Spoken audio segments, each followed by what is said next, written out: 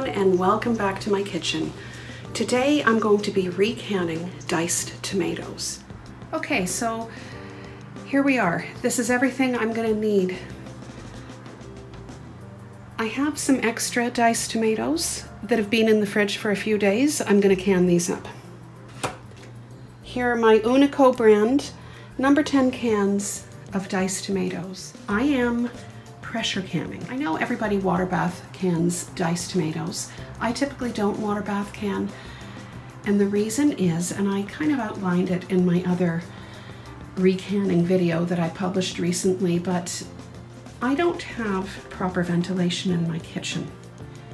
And there's just too much spluttering of water with water bath canning. So this is why I choose to pressure can. Okay, I just want to get that out of the way. It's not necessary. I will refer to the Presto manual for the processing time. Here I have my ring bands and my lids. I'm going to pour previously boiled water over them. I'm using the Bernardin Dollarama regular mouth snap lids today. Okay, and as you see, I have a lot of jars ready.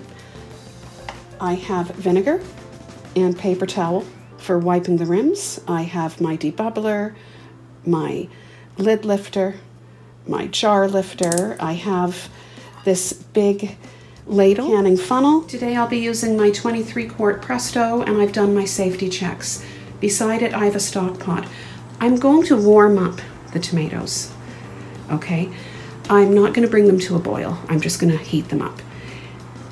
Keep in mind that recanning is not an approved method, but it works for me. Okay, so if you want to do this, look into it, look at the USDA guidelines, and make your decision from there.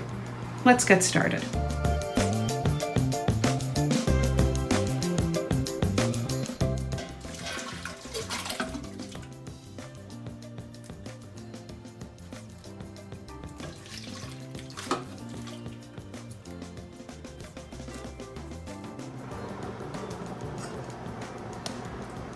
Okay, see there, I have no extractor fan.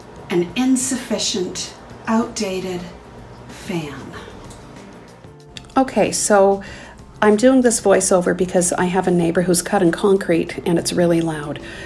I'm explaining here that I have just heated up the tomatoes. I haven't brought them to a boil. And here is this silly um, ladle. It is so floppy. Anyway, let's fill up the jars.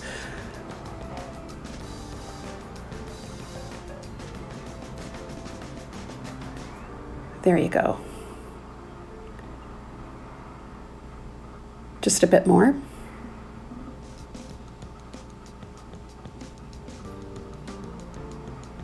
Okay, it's time to debubble.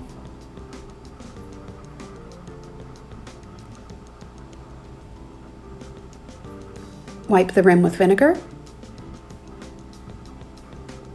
And put on a lid and ring band, screwing it on finger tight. Here it is, and let's put it into the canning pot.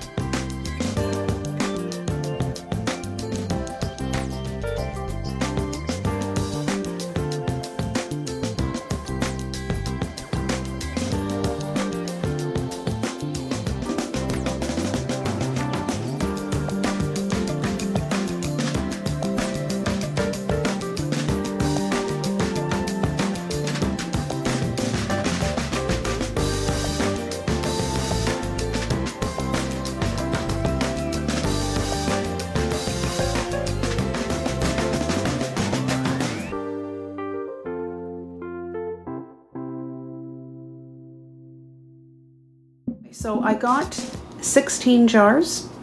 I have 10 on the bottom and 6 on top. I'm going to close up my canning pot and crank up the heat. The canning pot is now venting a steady stream. I'm going to set the timer for 10 minutes and vent the pot. So the canner has vented 10 minutes. I'm now going to put the pressure regulator on and I'll bring you back when the dial is up to 11 pounds pressure.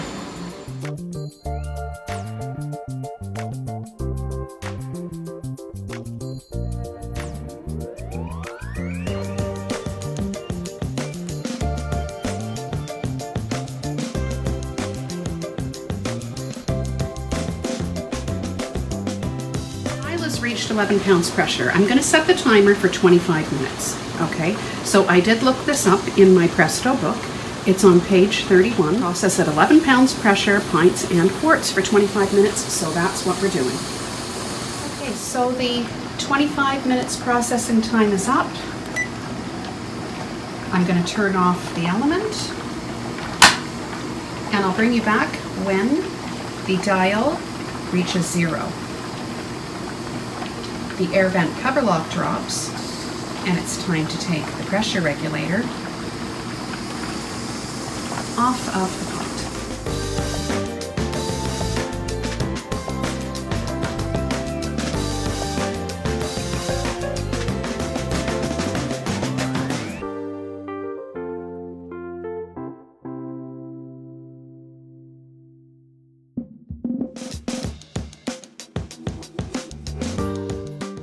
pressure has gone down to zero.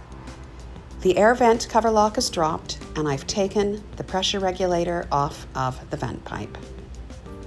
I'll bring you back when I've taken all of the jars out of the canner. Okay, so they're all sealing and you can just look at the jars to see the tomatoes have kept their form. There you go, ping. However, I do have to mention something. When I canned Hunt's tomato sauce, there was citric acid in it. And I made the assumption that there was citric acid in the Unico number 10 can of diced tomatoes that I have just canned or recanned.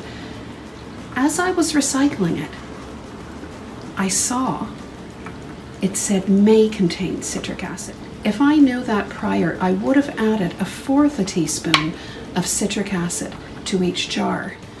Anyway, hindsight is 2020.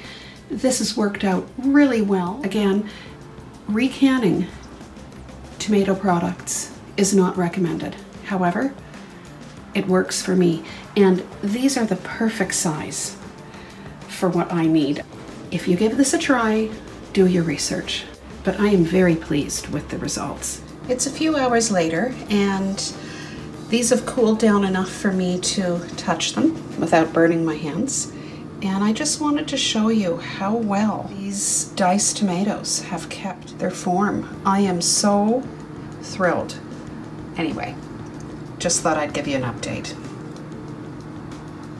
Thank you for watching.